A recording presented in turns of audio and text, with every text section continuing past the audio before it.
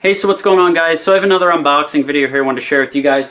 This is the HP OfficeJet Pro 8610 AIO or all-in-one printer. It's wireless, it faxes, it scans, it copies, pretty much has all the features I need. This thing was on sale for $79.99 at Staples and I think it retails for like uh, 199 or something like that. And when you get your printer and stuff, it comes with the software. Now one thing with this software is this software has probably been sitting in the box for as long as the printer's been sitting on the shelf. So what I recommend you do is go to HP, you can go to Google and type in HP support and then you can go to HP's website from there and download the latest drivers for whatever operating system you have. I have Windows 10, so that's what I will do. I am going to go ahead and pull the stuff out and try to assemble this thing quick. So let's get this out of the box. Everything is wrapped. There is um, power cord that it comes with. Looks like it comes with a phone uh, phone line for the fax part of it. That looks like the duplexer that plugs into the back of the printer. And the ink, here's the ink guys, that's right on top. Um, I know that when I was looking at this, uh, you can actually get this as like a bundle and it's about $150 if you get the entire bundle of the ink cartridges. There's not much to these uh, ink cartridges. There's nothing on the bottom. I think these ones just plug right in by the color codes. And there is the black one. There's the number, 950. And the all the colored ones are 951. So now they have this thing wrapped pretty good in a plastic bag. See, set this big bad boy out there. It's got a little bit of weight to it. It's not a light printer. It's pretty heavy. So let's take this plastic off quick. So let me go ahead and start peeling off all the tape. Now this screen right here, guys, actually comes out and lifts up. That's all it does. There's a little wireless light that turns on here. That flips down. Let's see, there is the uh, paper tray which has some cardboard in there. So let me spin this thing around. We'll plug this duplexer in. Anytime you get paper jams or something like that, you can always take this thingy out. It just pops in the back. Okay, it should probably just pop in there. I don't think there's any tape, no.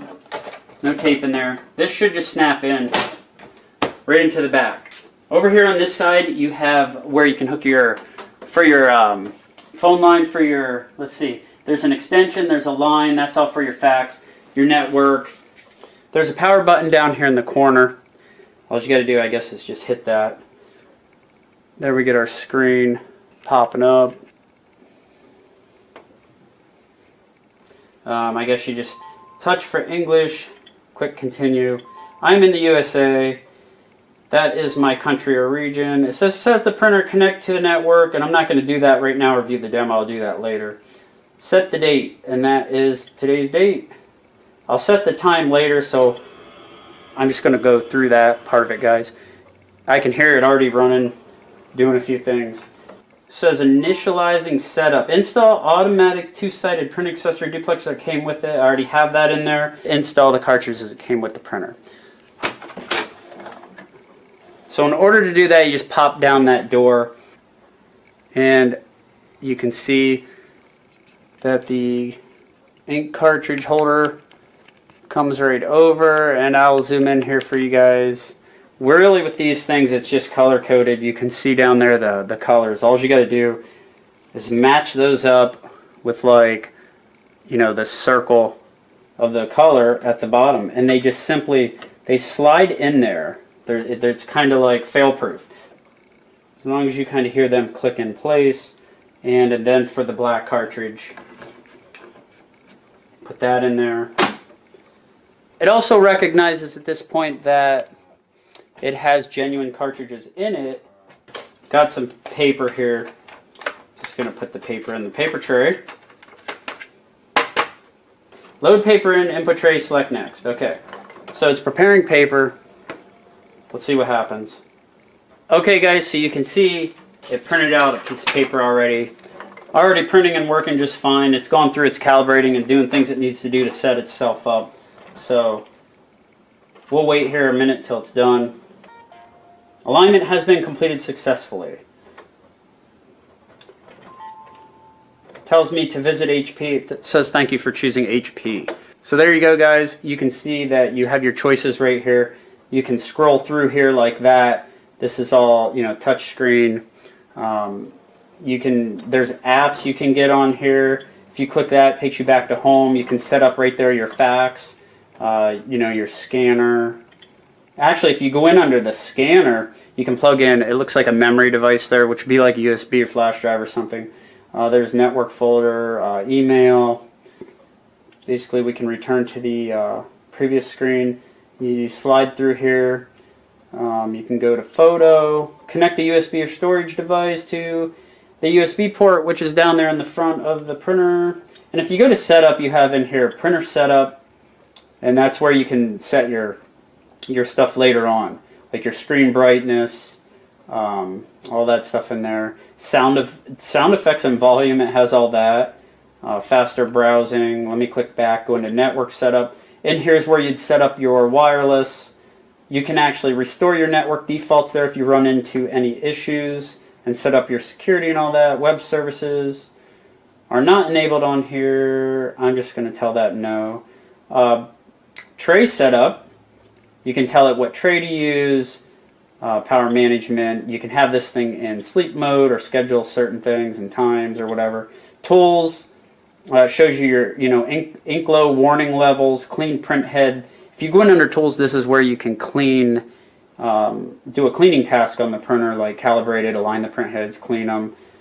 Um, let's see. Restore factory defaults. So there you can reset your printer if you run into issues or the screen here freezes up on you. There's print reports and all that good stuff. So there's a little bit of the touchscreen, guys. Okay, so now I'm going to show you how to connect this printer to your wireless router at home using the touchscreen.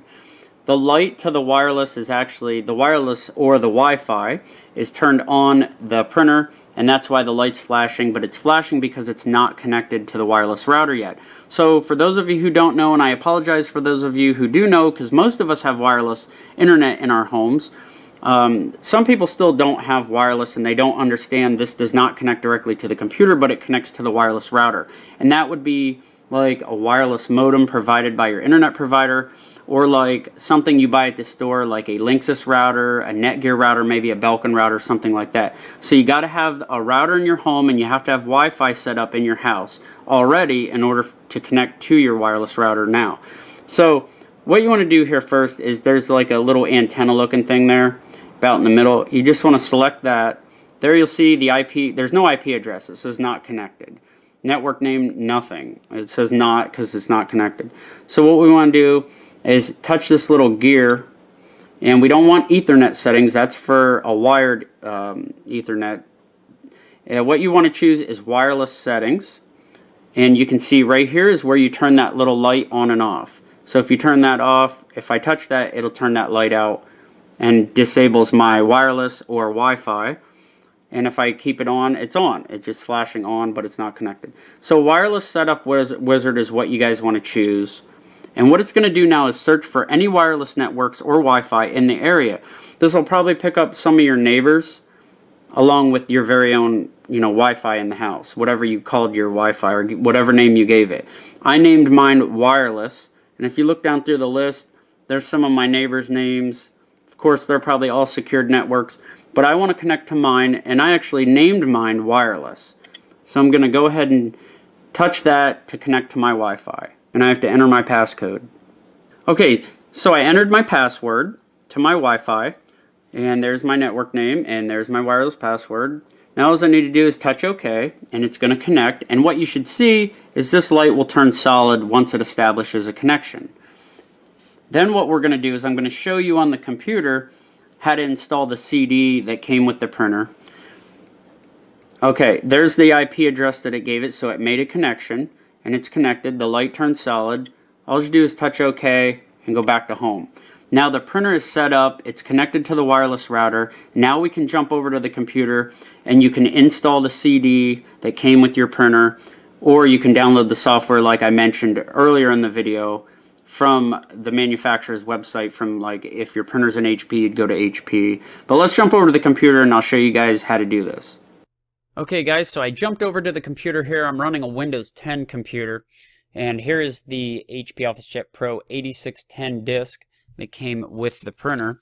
So I'm going to go ahead and install the software onto my computer here so I can finish everything up and be able to print from the computer then to the printer wirelessly because we already set it up in, you know, with the wireless router. So I'm just going to double click here and go ahead and click on the disk to start the installation.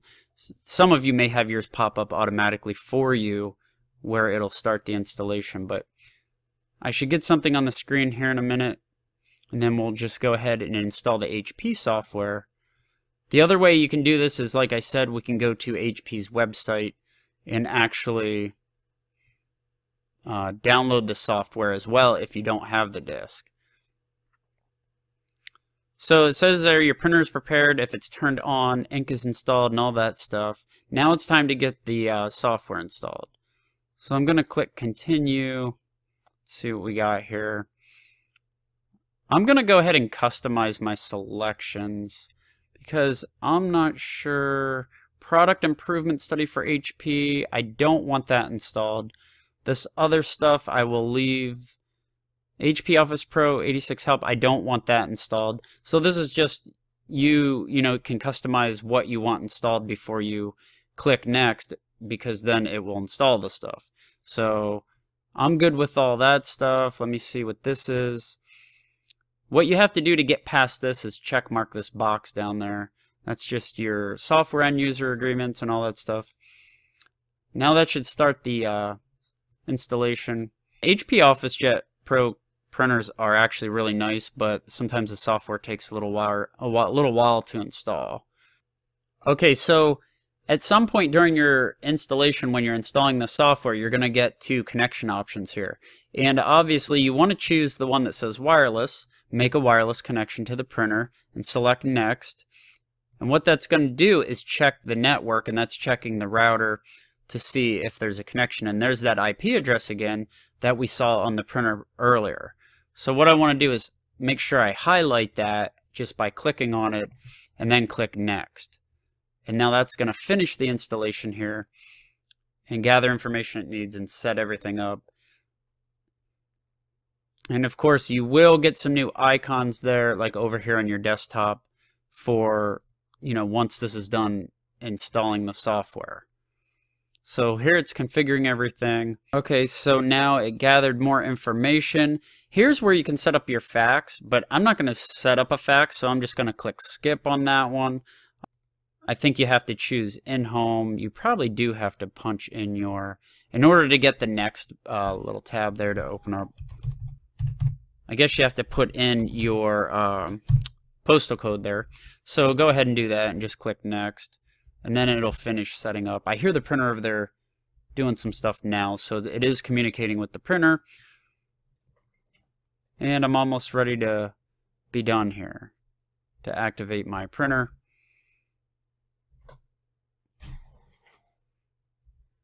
And that's pretty much it. So there's some options for you to look at as far as setting up or saving on ink, which I'm not interested in. So I'm just going to click out of that. Now it did print something already, so I know that it was communicating. Let's just print something to make sure that the printer is actually working.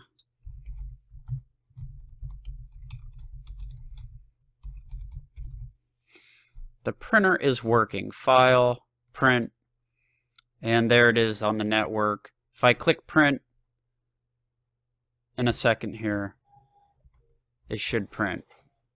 And this is just another advertisement. I'm going to tell it no thank you. Are you sure you want to exit? Yes. So there my the printer just printed and yes, the printer is working. So there it is all set up wirelessly and I should not have any more issues. Now, if you guys want to if you don't have the disk and something happens, you lose it, and you need to download the software, you can go to HP, go to Google and type in HP support, and then go ahead, come down here where it says HP drivers and downloads, and you'll get to this page right here, and you can type in HP OfficeJet Pro, and then your model number of your printer, and then over here you can choose which one yours is. This is the one we just did everything for. So there's my printer. And then it already knows the software that's available for my printer is Windows, of course, Microsoft Windows 10. So it's already selected for the correct operating system. You can click change and choose whatever operating system you have here in the list. Like if you have 8, 7, XP, you guys get the idea there. But since I have Windows 10 computer, it's already on Windows 10. You just come down to this link here where it says this is the all-in-one printer series full uh, feature software and drivers and you just simply click download. And then once you you know you download that to your computer that is basically the same thing as the CD that we just ran through the computer. Let me go in and show you real quick. If I go into my PCs into my printers there I have it. I already made a folder for it. But here's the download that downloads. And if I double click this, it's the same difference as me putting the CD in there. So I'll just show you here what happens. So you can either do it this way, or you can either do it using the CD. And if you don't have the CD, then you can just do it this way. But this is the most up-to-date version, because like I said, that disk will sit in that box uh, while that printer sitting on the shelf at the store. And there you go. That's the same difference as installing the CD. So basically, that's where I'm going to leave everything, guys. I hope you enjoyed this video. If you did, please give it a thumbs up. Please share it. Please like it. Uh, if you guys haven't, you can subscribe to my channel. Uh, thanks a lot, guys, for watching. You have a good one.